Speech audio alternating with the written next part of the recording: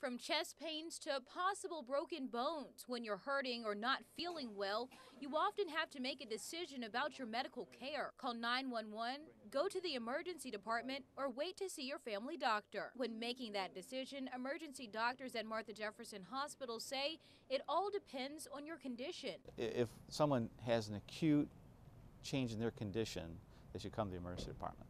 If it's something that's been going on for days and it's really not getting worse, then usually they could uh, talk to their doctor at least, and they'll advise them one way or the other. But if you realize that you need to go to the hospital, should you be transported by ambulance? Or get someone else to take you? If they feel like their, their condition is too bad for them to be able to come in themselves, then they need to go ahead and call 911 because then if somebody else brings them in, it could be more detrimental to them at that time. In an emergency situation, first responders say getting pre-hospital treatment could make all the difference for a patient. The pre-hospital treatment is very important, especially when you have um, the chest pains, um, because then they could come in with, in, with uh, a possible heart attack can be treated prior to them coming to the hospital and speeds up their, their treatment once they get to the hospital.